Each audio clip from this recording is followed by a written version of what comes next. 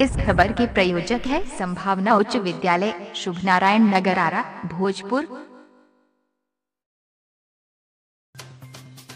बेगूसराय के भगवानपुर थाना क्षेत्र अंतर्गत महदौली पंचायत में आज ग्रामीणों ने पंचायत सचिव पर वार्ड कमेटी के गठन में भेदभाव का आरोप लगाते हुए पंचायत सचिव की जमकर पिटाई कर दी तथा बंधक बनाकर काफ़ी देर तक हंगामा किया। इस दौरान ग्रामीणों ने सड़क को भी जाम कर, जमकर हंगामा भी किया। साथ ही साथ वरीय पदाधिकारी को बुलाने की मांग पर अरे रहे।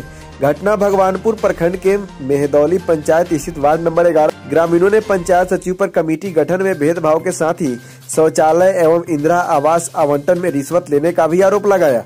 ग्रामीणों ने कहा कि पंचायत सचिव जितेंद्र कुमार तकरीबन 15 वर्ष से भगवानपुर के मेहदौली पंचायत के ही सचिव के पद पर कार्यरत हैं जबकि सरकार का स्पष्ट निर्देश है कि पाँच वर्ष से अधिक कोई भी पदाधिकारी एक जगह पर नहीं रह सकता। ग्रामीणों ने सचिव पर अवैध ढंग से लाखों रुपए कमाने का भी आरोप लगाया है। बाद में मौके पर पहुँचे प्रखंड विकास पदाधिकारी को भी लोगों को, को भाजन का शिकार होना पड़ा।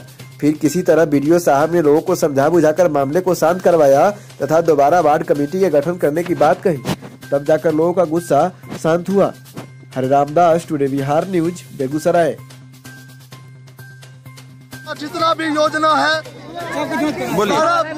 पंचायत का योजना का जाँच हो सौर लाइट हो पोखर उगाई हो सड़क हो इंदिरा आवास हो शौचालय हो स्वच्छता अभियान हो, सात निश्चय योजना का जाँच हो, एक भी मेरे पंचायत में योजना ठीक से नहीं चल रहा है।